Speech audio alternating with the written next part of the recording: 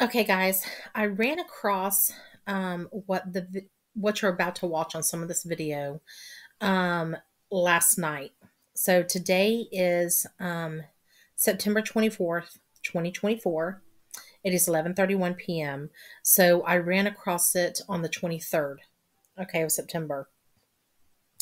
And um, I'm now doing the video um, because I had another one that I just uploaded today. but what I'm going to put on here, um, I think I'm going to try and link it in description, is the dream that I had um, about like the rapture and the Revelation 12 sign. And um, that's where I got the capri, like because I was wearing capri pants. Okay. Um, and then um, that led me into some other things. And then I think I'm going to link um, part of a video, only part of it, um, a word that I was given by the Lord um, about who you're about to watch. Okay. Um, and I know that some of y'all said that y'all couldn't hear it in the last video, but um, I'm gonna I think re-put that on this one, just that one little clip of that that whole video, um, and then I'll make sure that you can hear it or what was said. Okay, and then um, I'm gonna add. I didn't want to make this too long, but I'm gonna add the dreams and some things that have happened that I believe the Lord's leading me to to add and say um, on that. But um, let's get into this, okay? Quanto è urgente sia la sfida che abbiamo davanti, dobbiamo puntare sulla educazione, che apre la mente e i cuori ad una comprensione più larga e più profonda della realtà. Serve un patto educativo globale che ci educhi alla solidarietà universale, a un nuovo umanesimo.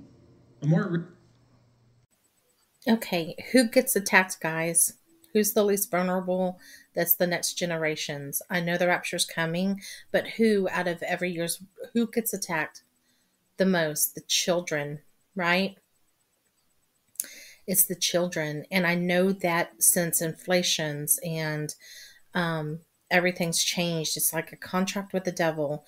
You know, more people have to work to even afford to put food on the table. So the mom can't stay home or um, and raise the children. Um, and I, I know, I know we with this inflation and everything from years and years and years back, families have had to do what they have to do. And um, my children have gone to school. They've started early in education, you know, um, age four.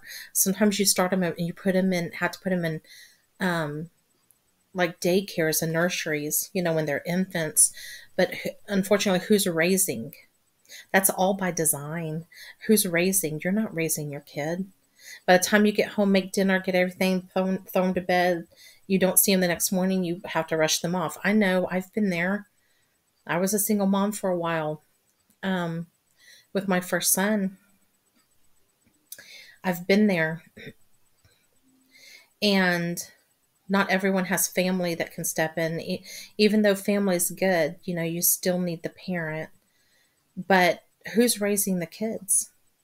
Who has a hold of our children?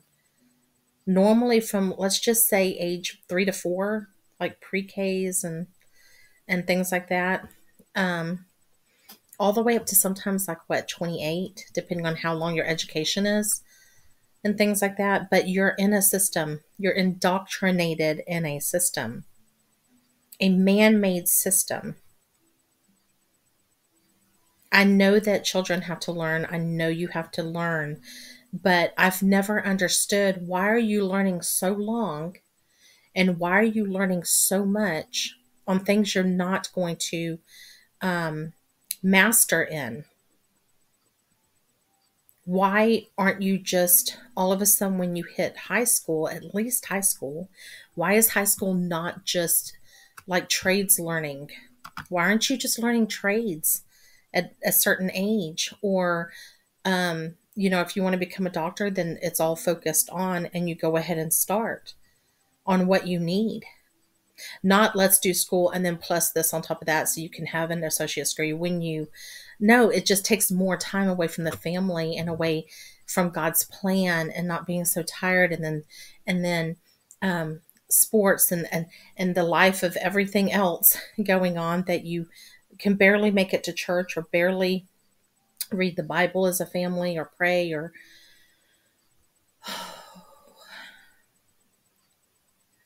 it's indoctrination and it's by design. Indoctrination by design. And you see what he just said about education and that we it opens the minds to what his reality is not god's word and law and what he made. It's his reality is. Okay? So open the minds so they they can't fight against. Open the minds so they can't see it blurs to gray instead of being black and white. Open the minds so they accept everything you tell them or accept everything. There's all different paths. There's all different ways be you god says you're made in the image of god you're made in the image of god and the world's been destroying it. And they hit mostly in education. When they're raised by the people they see the most. I know, Mama. I know, Daddy. I know. I know. We need to teach them while they're young. And the Bible says, and they will not depart from it. Teach them about God, strong at home, and they will not depart from it. Right? If they're saved early and they know about the Lord, um, even if they go off a little bit, God's faithful and true, and He brings back the you know the prodigal. He brings back, and He'll protect and and you put an, an armor of protection over your children. You suit up with the whole armor of God every morning. It's a warfare for souls and a war- warfare for everyone. But see, the devil knows that. You bring up a child in the way it should go, and he will not depart from it. If they're not being brought up in the Word of God, they're being brought up in the Word of the world, who was led by Satan. And they will not depart from it. They know this. December 3rd, 2023, again highlights that when giving a message to the world, salvation of your eternal soul isn't what's on Pope Francis's mind, but instead we need to focus on the salvation of the climate. Pope urges world religions to unite against environmental devastation. Pope Francis Okay, the Bible says you do not worship the creation, you worship the Creator. Going against God's word, anti God.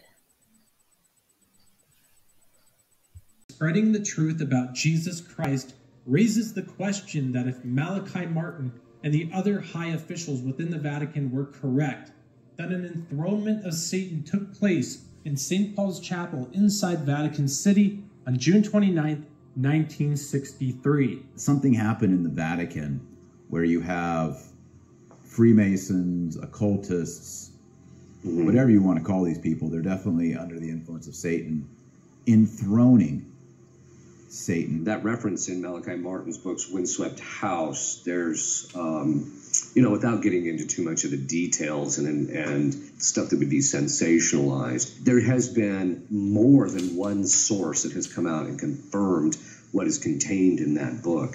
Even the bishop in South Carolina, where the ritual took place, because it was done by a form of projection, even where the ritual took place, the bishop there did research, found out it was true, and then reconsecrated the church.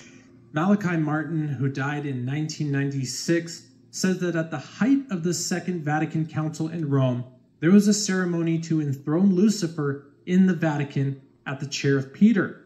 The church in question, St. Paul's Chapel within the Vatican walls, hosted a very different rite of Mass on January 29, 1963, just one week after the election of Pope Paul VI.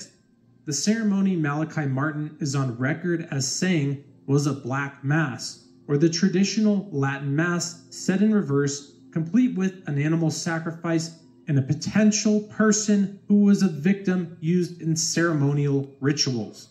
The ceremony was not of the Novus Ordo Mass because, in Malachi Martin's words, even the Satanists know that this Mass is not valid. Martin writes that the Black Mass was attended by high ranking prelates in the church, important laymen, business leaders, and politicians. At least one cardinal was in attendance. A concurrent enthronement of Satan Black Mass was also held in South Carolina on that date. The piece of the puzzle. Okay, so here is a clip, or not a clip, but I found the um, the recording on my phone. I had to go through it of um, that's on a longer video, okay, with more information and dreams and everything. So if you want to see the whole thing, go find that one. Um, it was given to me on 9 14 2024 at 6:32 a.m. Okay? And this is what was given. Okay? I woke up from a really weird dream. Um, like, like a little bit ago. Maybe a good 30 minutes ago, but I just picked my phone to do it. And I don't know what it was, but I think it was a lot about like the Pope and the beast that rises out of the ocean. I don't remember a lot about it. It was long. I don't remember a lot about it. I do remember that I woke up and I was like, or something, and then I, I felt like the the beast rising, and like it was like at my feet. I don't know. It was weird. Oh, I felt like it was at my feet, like something. The beast rising, and it was just weird. Like everyone had to be horns. Like, like I saw it everywhere. Like it was surrounding me or something. It was just weird. Um, oh my goodness. I think I had times and everything too in the stream, but I don't know what dates. I don't know. Mm. 632 strong and 634 strongs. Okay, so then I got 632 strongs and 634 strongs. Um, I'm not going to re Google those, but you can Google them. Just put those numbers in and just put strongs um, after it, and then it'll bring it up for you. But what I got was I saw the, um, it was a long dream. I had like times in it and dates, and I just can't remember any of it. But I remember the Pope. I remember um, the beast rising out of the ocean. Um, I remember saying everyone has to be warned. Everyone has to be warned. And just thinking, oh man, everyone has to be warned. And um, as I was waking up, I was like, as I was waking up, I felt like it was at my feet like the evil the the beast rising out the that whole like contract okay, was at my feet in my bed. It came around me, okay, and then I looked and I have a bathroom door on the side that I lay on, okay, and um, I didn't put this out, so I'm putting it now on that one. Okay, because I felt like it was what was going on with that contract of those things, okay? Um I felt like it was surrounding me. Evil was all around. It all around, okay? And it was surrounding me like engulfing and closing in, okay? And when I woke up, I still had that feeling. That's how I felt it at my feet, my legs. It was all around me. And then I looked at my door because it was open. I normally have it closed just because I don't, you know, I normally have that closed. Um, but it was open. And I saw, I saw a black hand, like shadow, but it was black. It had, it had feature to it it wasn't like see through. Okay. And it was long fingers. Okay. And it was at the top, like holding the top of my door like that. And it was holding the top of it, not like reaching up and trying to reach. Okay.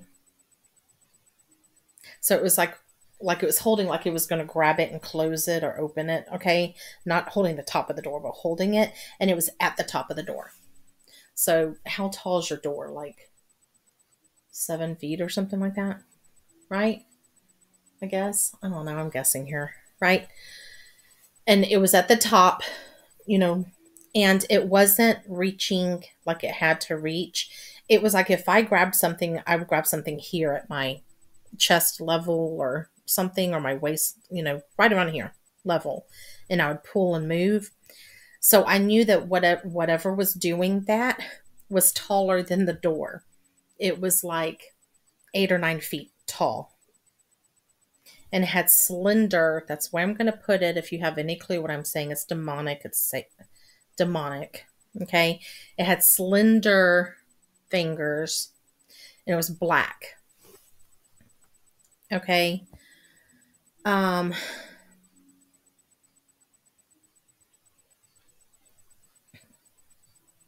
it's what a lot of people are making contracts with. It's one of them. Okay. And it was weird that I was given that from God. What you just heard about the Pope and the beast rising out and then I see that. And um, it's not the first time I've seen it. Like I've I've been able to see things since I've been little, like really little. You know, some of you may know that, you know, that's why I'm saying. Your children put the whole armor of God on. I went to Christian school. I was raised young. I went to Sunday church but be careful what you bring in and you do and and pray over your home and your kids like and my my dad used to go around and pray over the doors and lock the doors and this and that but there was there was things going on that let toe holds in and things in you know like just strife you know fighting anything can let anything in a movie you watch you know you're letting things in and so I would get attacked all the time and have issues because they want to take down your kids. They want to take down, they want to take you down before you realize who you are in God. Right? And um, so I've seen that before, um, along with many others. Um, it's real. If you don't want to believe it's real, what do you think the Bible tells you that you fight against not flesh and blood, but you know, principalities and and things things like that. You're fighting it's it's a battle of good and evil. If you believe in angels, you believe in the fallen angels, right? Demons. You got to believe everything in the Bible. God's word's truth. You may not want to see it and fight it, but you armor up with a full armor. Greater is he that's in you than he that's in the world. There's no fear. Um, but I needed to put that on because of what I was given before I saw it. And then people are blind to what's going on with what you're looking at right now in this video. Don't be blind.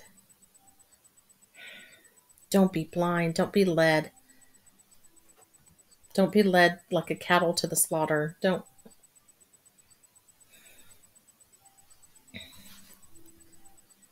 Okay, so I'm also going to put on um, a dream that my my um, son had. I'm going to link a dream that my daughter had because it's long. Um, and then um, I know there's something else he wants me to talk about. Um, and some other things that's dealing with this. Okay. And that quote reads Through some crack, the smoke of Satan has entered into the church of God.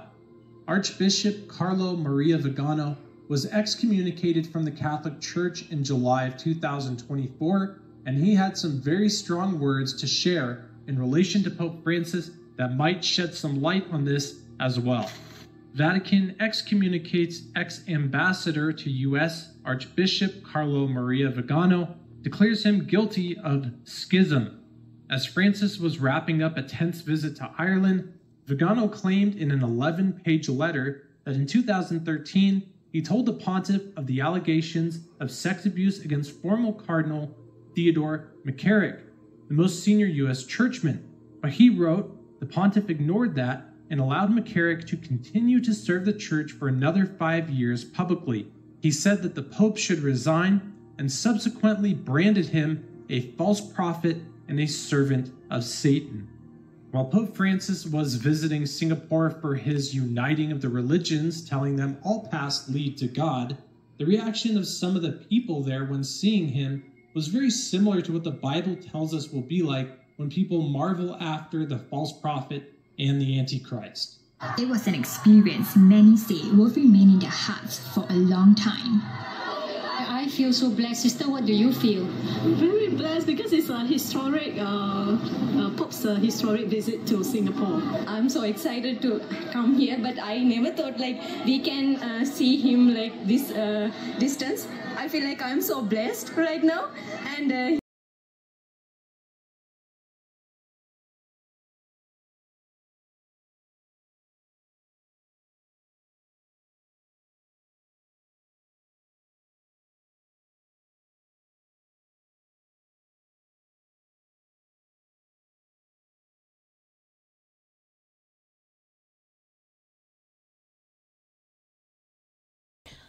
Oh my goodness. no. How did we miss this? Or did we miss this?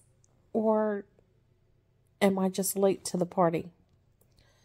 Okay. Oh my goodness. Oh my goodness. Okay. So, oh my goodness. I'm so sorry. I've had dreams about King Charles. My son's had dreams about King Charles. That's all I'm saying about that. Okay. Okay. Now let's go to the red heifers. The red heifers. And that they're going to burn them and they have to use the ashes to purify. Right? Okay. So what's a heifer? It's a beast, right? Okay. Yes. Then, okay. So we got the mark of the beast. Oh my goodness. Okay, we got the mark of the beast. They're using ashes to purify. Right now, what does the Pope put on the forehead of people when they come on Ash Wednesday? It's called Ash Wednesday, right? Anyway, they walk around. They walk around with a mark. People walk around with a mark on their forehead. Now, get hear me. They're not getting the mark yet. It's not the mark of the beast that can't that God can't love you right now, right? Okay, but it will be. It will be like a Okay, I know that it's an injection or it's something. You're going to have to take something and do something, okay? But listen. Oh my goodness.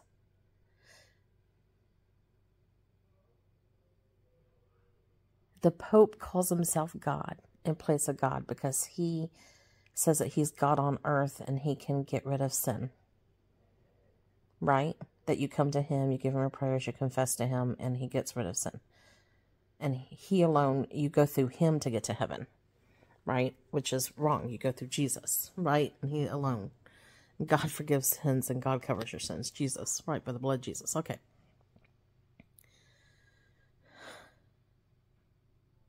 The, the priest in the temple with the heifer is saying that that heifer can for, that the heifer is going to cover your sins. The ashes and the blood of that heifer. Sprinkle with the blood the ashes right?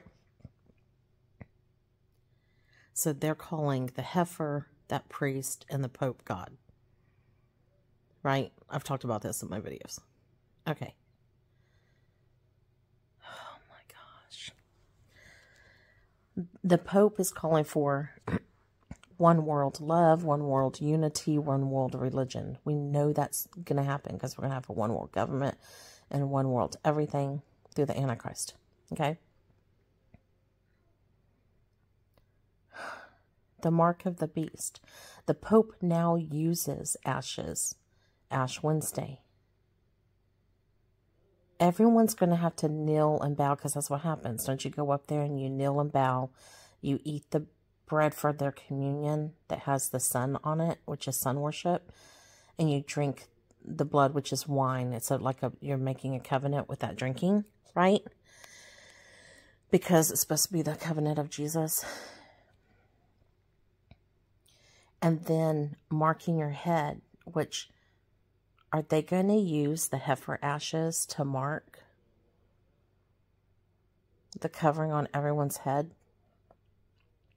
Like the mark of the beast, like are the heifer ashes that you're going to bend your knee to um, Catholicism. You're going to bend your knee to um, Rome. You're going to bend your knee to the Roman Empire Catholic ways.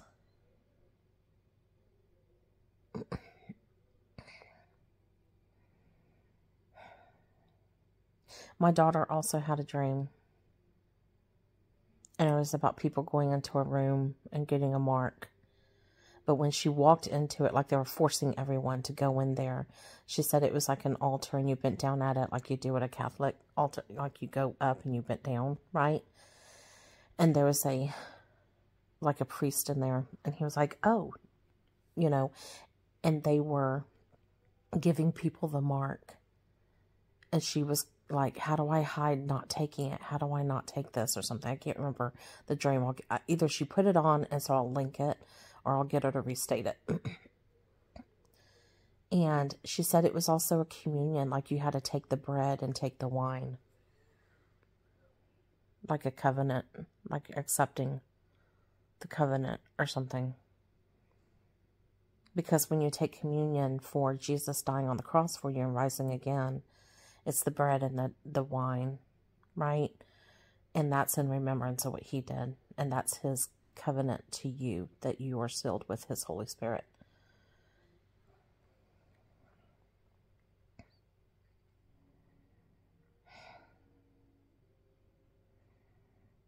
That's a remembrance that he has you, that you're his when you come to Jesus and you've accepted, then that's a remembrance that you're His and what He's done for you. You do it in remembrance until He comes back or you go to heaven to be with Him.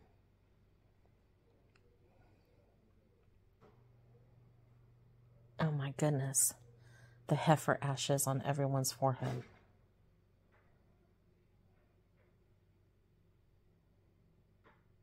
Are they going to have something in the heifer ashes? or it's going to be the mark. It says the mark on the forehead or on the right hand. So a mark of the heifer ashes on the forehead, and then the right hand's going to injection or something.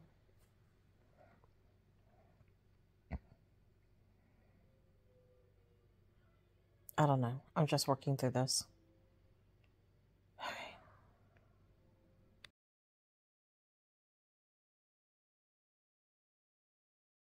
So, I had two dreams in the past couple months.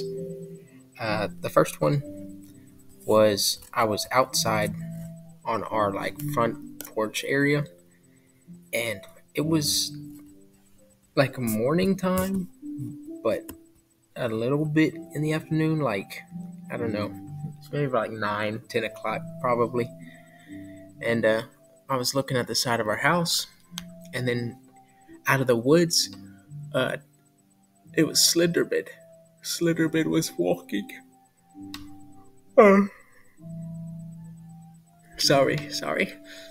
Uh, Slenderman was walking, and it's that it's that tall, lanky, skinny guy that wears like a black suit and doesn't have a face. It's just a white head, and he was really tall, and uh, he was like coming at me, and I was like, "Whoa!" And he was scary.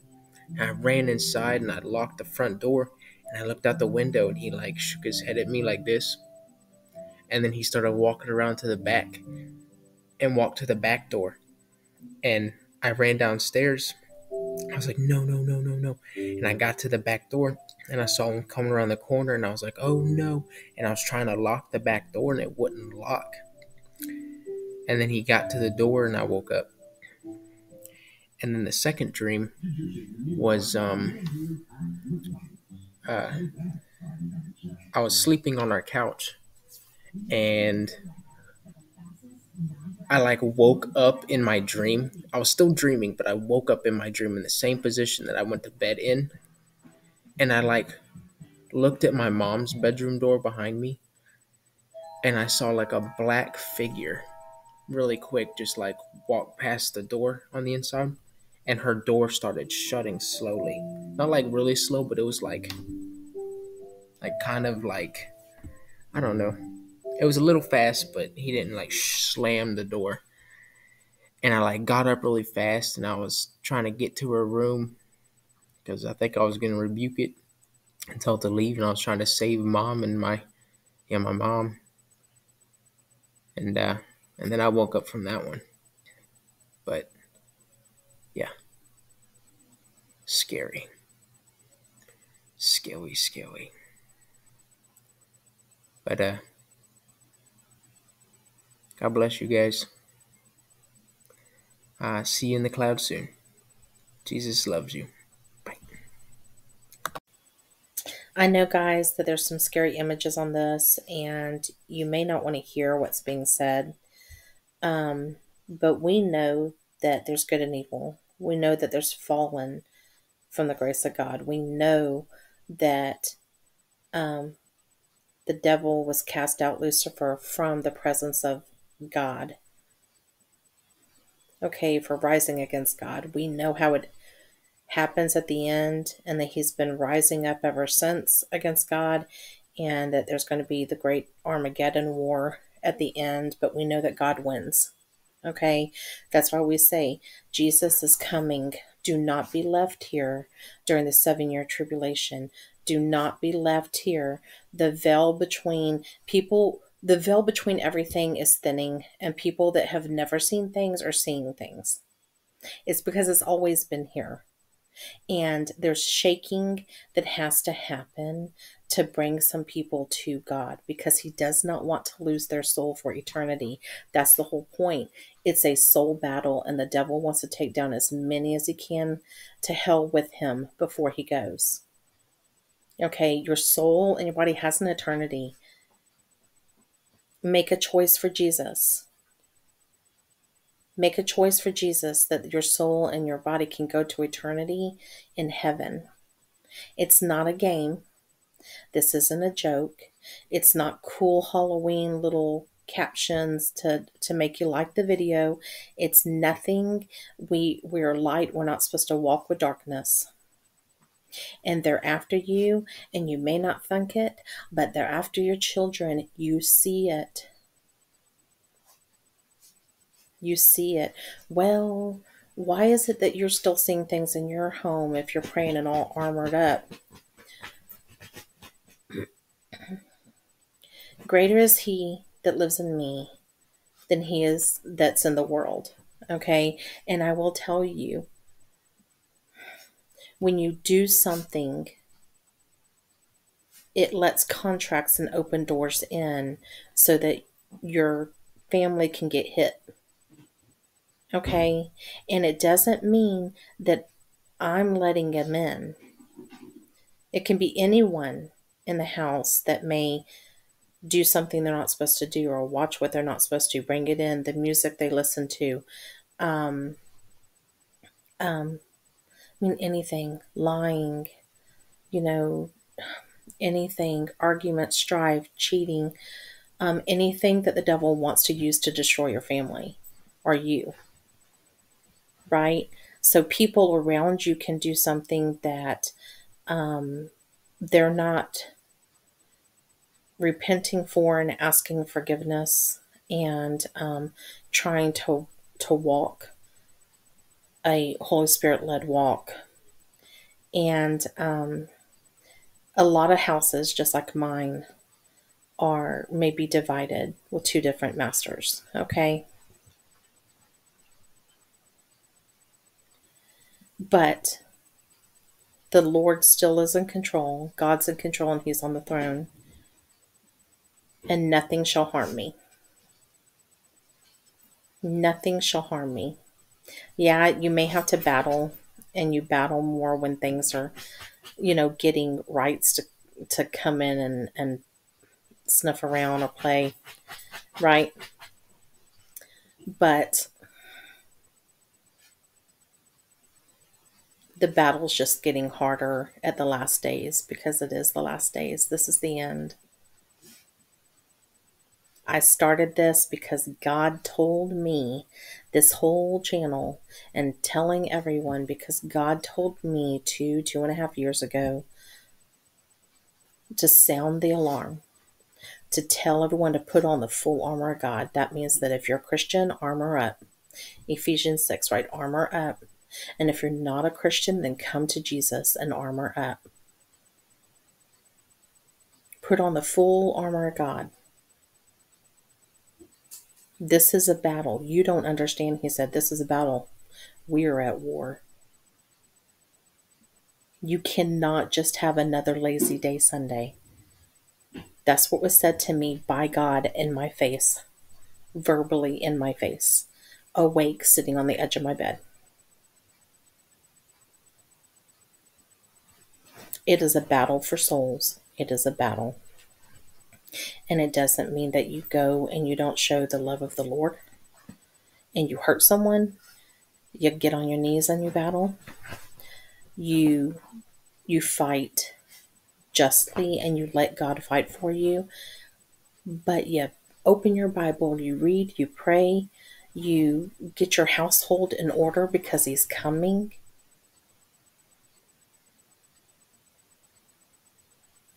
and you battle on your knees. You battle on warfare in your home as you walk, your property, your neighborhood. You battle in prayer with the Lord Jesus, the Holy Spirit, and the warring angels. You let God handle that battle. Believe me, they're scared of you because you have God in you. If you've got God in you, they're scared of you. They like to be scary. They like to be scary, but they want you to think that they have the upper hand. They don't. I'm telling you that many of people, and we're seeing them fall right now, but many of people have made contracts. And those people can still come to the Lord Jesus because the world's not over yet. They haven't taken the final mark, deciding that they choose the Antichrist instead of instead of God. They haven't taken a, a mark to seal them. So come to Jesus and get sealed with the Holy Spirit.